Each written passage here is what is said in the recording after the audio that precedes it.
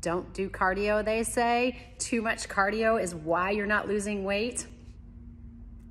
I'm pretty sure no one gained weight from doing too much cardio. Think about it.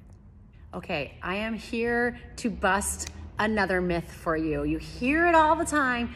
Don't do cardio. You're doing too much cardio. what?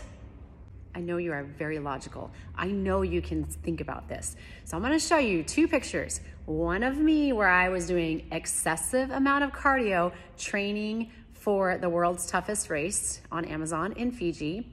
And then I'm gonna show you another picture of me where I wasn't doing so much cardio. And you know, you be the judge. Did too much cardio make me uh, flabby, gain weight?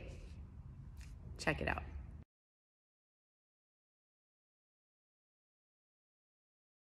Cardio is the best way to burn calories. Not only is it using the large muscle groups of your body, which require more energy, but you're doing continuous movement for a period of time. So you're constantly requiring energy, expending energy.